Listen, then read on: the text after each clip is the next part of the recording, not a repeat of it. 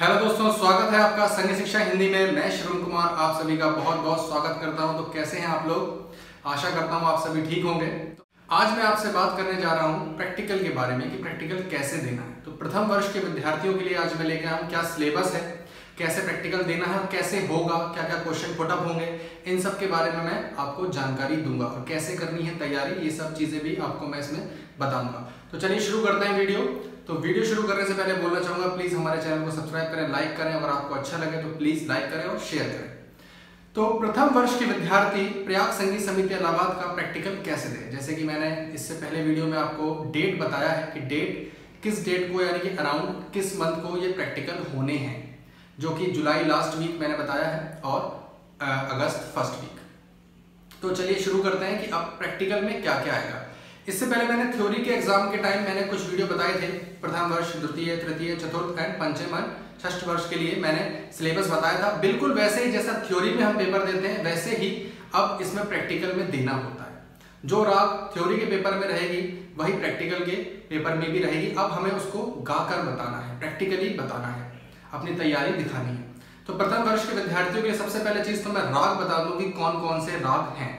तो इसमें पाँच राग हैं, जो बेसिक राग हैं। सबसे पहले शुद्ध बिलावल है, भोपाली है, भैरव है, काफ़ी है और खमाज है।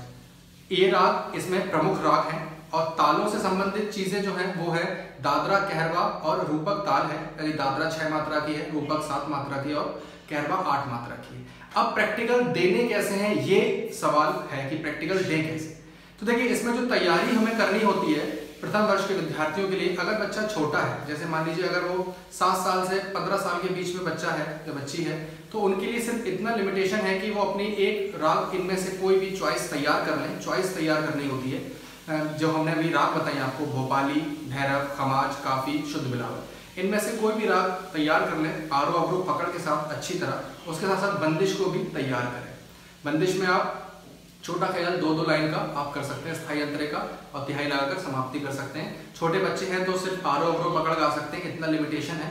उसके साथ साथ कुछ टीचर पूछते हैं, इन पाँच रागों में से पूछ सकते हैं कि भाई और दूसरी राग का आरो अवरो गाकर सुनाओ, सिर्फ़ आरो अवरो।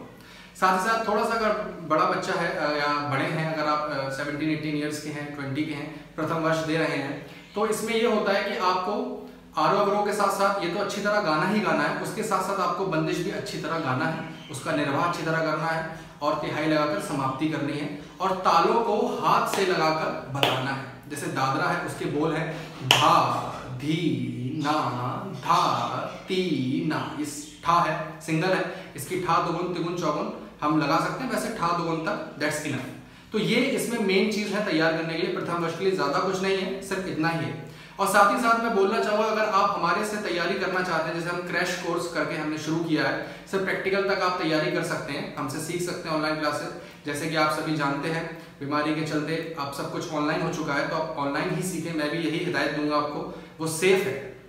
और आप अच्छे से सीख सकते हैं that is my guarantee that is my promise to you तो इस चीज़ से आप बिल्कुल बेफिक्र रहें। अगर आप सीखना चाहते हैं तो यू आर मोस्ट वेलकम आप सीख सकते हैं। बाकी प्रथम वर्ष में सिर्फ़ इतना ही है तो इसमें बेफिक्र रहें। आप तैयारी आराम से करें, संयम से करें और प्रैक्टिकल आप अपना अच्छे से दें। तो आप अपना प्रैक्टिकल अच्छे से दें, बेफिक्र होकर तैयारी करें और जो भी आपकी समस्या आप मुझसे साझा कर सकते हैं शेयर कर सकते हैं। तो इसी विचार के साथ अब मैं विदा लेता हूँ और आगे आपको द्वितीय वर्ष, तृतीय वर्ष क्रमशः मैं बताता जाऊँगा। धन्यवाद, शुक्रिया। Love you take care